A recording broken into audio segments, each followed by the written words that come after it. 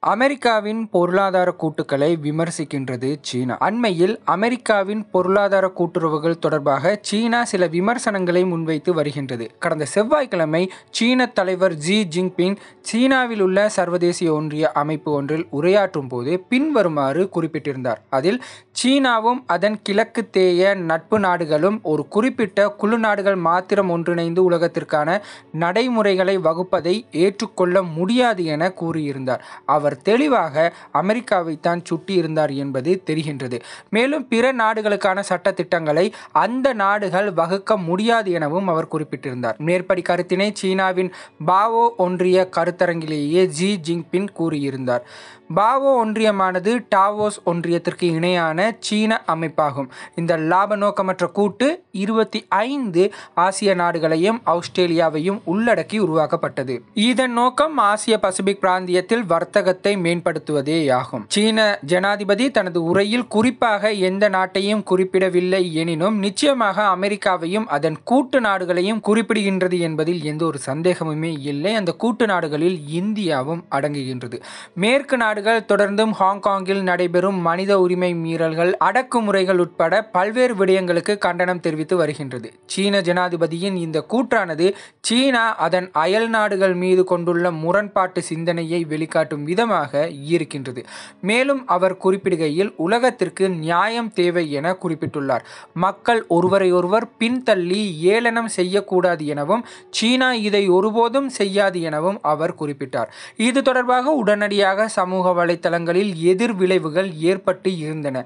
Xi Jinping கூறிய நியாயம் வேண்டும் எனும் விடயத்தை சுட்டிக்காட்டி அமெரிக்க நெட்டிசன்கள் சீனாவின் தொடர் மனித உரிமைகள் மீறல்களையும் குற்றங்களையும் சுட்டிக்காட்டி அவர்கள் தங்கள் தங்கள் பக்கத்திற்கு பதிவுகளை இட்டிருந்தார்கள். சீனாவின் சிங்சோங் பிரதேசத்தில் மேற்கொள்ளப்படும் மனித உரிமை மீறல்கள் மற்றும் படுகொலைகளுக்காக சீன ஜனாதிபதி உட்பட சீன தலைவர்கள் சர்வதேச குற்றவியல் நீதிமன்றத்தின் முன் நிறுத்தப்பட வேண்டும் என அவர்கள் தங்கள் பதிவுகளின் மூலம் வெளிப்படுத்தி இருந்தனர்.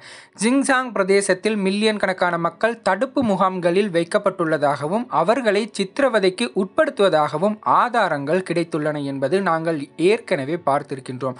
தாய்வான் ஊடகம் ஒன்றான லிபர்டி டைம்ஸின் கருத்துப்படி சீனாவின் நடவடிக்கைகள் சீன ஜனாதிபதியின் வார்த்தைகளுக்கு முரணாக இருக்கின்றது என தெரிவித்துள்ளது.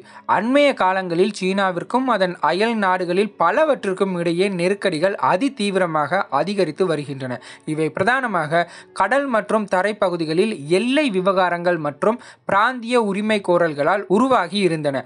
தென் சீன கடல் பிராந்தியம் முழுவதையும் சீனா தன்னுடைய கட்டுப்பாட்டுக்குள் இருக்கின்ற பகுதி என உரிமை கோரி வருகின்றது. அதன் உரிமையை வலியுறுத்த ஒன்பது டேஷ் லைன் எனும் கோட்டினையும் வரைந்துள்ளது. ஏற்கனவே இரண்டாயிரத்தி பதினாறாம் ஆண்டு சர்வதேச நீதிமன்றம் சீனாவின் இந்த உரிமை கோரலை மறுத்துள்ள போதும் சீனா தொடர்ந்தும் உரிமை கோரி வருவதோடு இது தொடர்பில் எல்லை நாடுகளை பகைத்தும் உள்ளது. அந்த எல்லை நாடுகளுக்குள் முக்கியமான நாடாக தாய்வானும் பிலிப்பைன்ஸும் இருக்கின்றது. அதேவேளை இந்தியாவின் எல்லை பிரதேசமான லடாக்கில் இந்தியாவோடும் கடந்த மே மாதத்தில் இருந்து முருகலில் ஈடுபட்டு வருகின்றது. ஆனால் அதே நேரத்தில் அதுக்கான பாதுகாப்பு கொடுக்கக்கூடிய நட்பு நாடுகளாகவும் சிலது இருக்கின்றது. குறிப்பாக பாகிஸ்தானும் இலங்கையும். இலங்கைக்கு ஐநூறு மில்லியன் அமெரிக்க டாலர் கடன் வழங்கியுள்ளது சீனா. சீன கம்யூனிஸ்ட் கட்சி தொடர்ந்தும் இலங்கையுடனான உறவு நிலைகளை தக்க வைத்துக் கொள்வதில் பல முயற்சிகளையும் எடுத்து வருகின்றது. தற்போது புதிதாக இலங்கைக்கு ஐநூறு மில்லியன் அமெரிக்க டாலர்களை கடன் உதவி வழங்கியுள்ளது. பலரது கருத்துப்படி சீனா கடன்கள் வழங்குவதன் மூலமாக நாடுகளை சீனாவிற்கு கடனாளியாக மாற்றி தன் தேவைக்கு பயன்படுத்திக் கொள்ள முயல்கின்றது என கருதுகின்றனர். குறிப்பாக இலங்கையில் இது கடந்த பதினைந்து வருடங்களாக நடந்து வருகின்றது. இதற்கு உதாரணமாக சீனாவின் பெல்ட் அண்ட் ரோடு இனிஷியேட்டிவ் திட்டத்தை அவர்கள் சுட்டிக்காட்டி உள்ளனர். ஐநூறு மில்லியன் அமெரிக்க டாலர் கடனுதவி எந்தவித பதில் ஏற்பாடும் இன்றி வழங்கப்பட்டிருக்க முடியாது. சிலரது கருத்துப்படி இலங்கையின் துறைமுகமான அம்பாந்தோட்டை துறைமுகத்தின் சீனாவிற்கான குத்தகை காலம் நீட்டிக்கப்படும் என எதிர்பார்க்கப்படுகின்றது. இந்த கொரோனா காலகட்டத்தில் இலங்கை பொருளாதார நெருக்கடியினை எதிர்நோக்கும் வேளையில் இந்த உதவி வழங்கப்பட்டுள்ளமை மிகவும் இலங்கைக்கு முக்கியத்துவம் வாய்ந்த ஒரு விடயமாகவும் சீனா அதை பயன்படுத்திக் கொள்ளும் விதமாகவும் இருக்கும் என்று நம்பப்படுகின்றது. கடந்த வருட இறுதியில் சீனாவிடம் இருந்து ஒரு பில்லியன் டாலர் கடன் பெறுவதற்கு இலங்கை முயன்றிருந்தது என்பது குறிப்பிடத்தக்கது.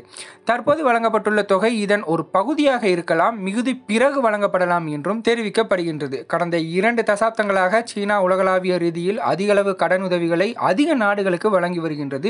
இதில் பிரதான பிரதானமாக ஆசியா மற்றும் ஆப்பிரிக்காவில் அபிவிருத்தி அடைந்து வரும் நாடுகளுக்கு பல பில்லியன் டாலர் கடன்கள் உதவியாக வழங்கப்பட்டுள்ளது. இதற்கு மேலாக ஆஸ்திரேலியா மற்றும் சில ஐரோப்பிய நாடுகளுக்கும் கடன் உதவி வழங்கப்பட்டுள்ளது. இதன் மூலம் சீனா அதன் உலகளாவிய ஆதிக்கத்தை விஸ்தரிக்க முயல்வதோடு ஏற்கனவே பல நாடுகள் அவற்றின் துறைமுகங்கள் அகழ்வு சுரங்கங்கள் மற்றும் பல நாட்டின் சொத்துக்களை சீனாவிற்கு கடனிற்கு பதிலாக வாடகைக்கு வழங்கியுள்ளமையும் இங்கு முக்கியமான ஒரு விடயமாக இருக்கின்றது. இதன் மூலம் சீனா மேற்கொள்ளும் நடவடிக்கைகள் சீனாவிற்கு எதிர் எதிர்காலத்தில் எந்த அளவிற்கு பயனளிக்கக்கூடிய ஒரு விடயமாக இருக்கும் என்பது ஒரு மிகப்பெரிய கேள்விக்குறியாகவே இருந்தாலும் அதன் எதிரி நாடுகளாக கூட்டிணைந்திருக்கின்ற நாடுகளின் நடவடிக்கைகள் எவ்வாறு சீனாவை தடுக்கும் முகமாக இருக்கும் என்பதையும் பொறுத்திருந்து நிச்சயமாக நாங்கள் அனைவரும் பார்க்கலாம். அது தொடர்பாக மேலதிகமான செய்திகளை தொடர்ந்து தெரிந்து கொள்ள சமூகம் டிவி யூடியூப் சேனலோடு இணைந்திருங்கள். நன்றி. இது போல மேலும் பல வீடியோக்களை பெற சமூகம் டிவி நியூஸ் சேனலை சப்ஸ்கிரைப் பண்ணிக்கோங்க. கூடவே பக்கத்தில் இருக்க பெல் ஐகானையும் கிளிக் பண்ணிக்கோங்க.